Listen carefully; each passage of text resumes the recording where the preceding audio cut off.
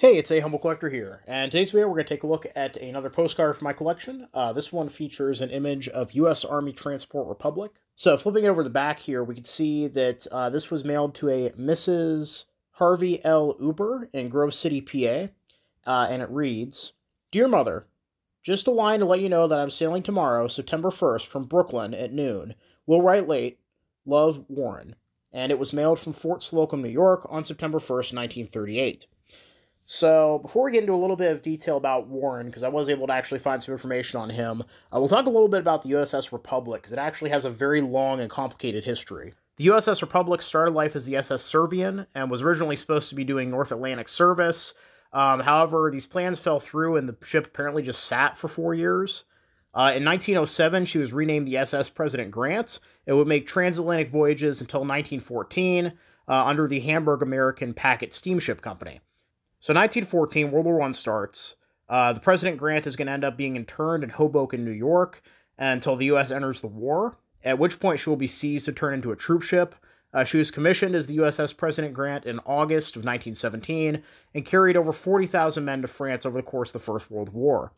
Um, after the war, she was transferred to the Army. One of her first tasks was taking members of the Czech Legion back to Europe from Vladivostok. Uh, so, for those of you who are not familiar, the story of the Czech Legion is fascinating. There's a lot of really good stories on YouTube.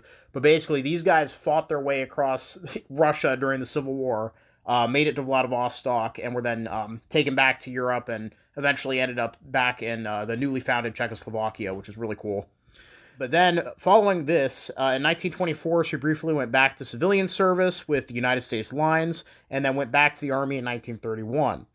So after returning to the Army, she was mostly doing uh, transport work between the mainland U.S. and some of the Pacific colonies. And at the time this postcard was sent, um, she was actually exclusively making a run from New York to Honolulu. Moving forward to World War II, uh, when Pearl Harbor attack happened, she was actually in a convoy heading to Manila. They ended up getting rerouted to uh, Australia instead. Yeah, she would see service throughout the Pacific War. Uh, in early 1945, she would actually be converted over to a hospital ship, and after the war was over, she was converted back into a passenger ship. And in the immediate post war era, she made multiple trips from Japan to San Francisco uh, until being decommissioned in 1949, and she would be sold for scrap in 1952.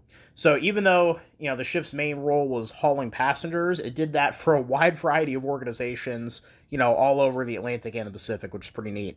So now talk a little bit about Warren himself. Uh, weirdly, as I was doing the research on Warren, uh, it turns out he's actually not a World War II veteran. So we're gonna we're gonna kind of get into that. So from what I could find, uh, he was born on September 22nd, 1917, in Grove City, and I did find a few ships manifests that list him. Uh, he was apparently supposed to sail from Fort Slocum, New York, uh, to Fort Shafter, Hawaii, on board the St. Mihiel in July of 1938. Um, attached to the 3rd Infantry, but this trip was canceled. You can actually see on the form here he was crossed out. Um, so something must have happened. He ended up getting put back on a list to go to Hawaii in September. He's actually on this passenger list here uh, on board the Republic, leaving Fort McDowell, California on September 24th, 1938. Now, like I said, he's not actually a World War II veteran as far as I can tell. He died on April 20th, 1983, and according to Find a Grave, it has a note here that he was a U.S. Army peacetime veteran, which is interesting. And I did actually find a draft card for him from 1941, uh, noting that he was 5 foot 9, 130 pounds, brown hair, brown eyes, light complexion, and was apparently living at home and currently unemployed. So it seems likely that he must have rounded out his service in the military prior to World War II kicking off and then managed to not get drafted over the course of the war. At least that's what all the documents and the Find a Grave seem to indicate, uh, which makes him pretty darn lucky, all things considered. You know, he got to have a couple years of peacetime service, and then managed to miss the Second World War. Um, so yeah, definitely not the story I was expecting with this card, uh, but an interesting one nonetheless. Uh, yeah, overall, hope you guys enjoyed the video. Please leave a comment down below. Love hearing from you. Uh, thank you all for watching. Happy collecting, and I'll see you all again very soon.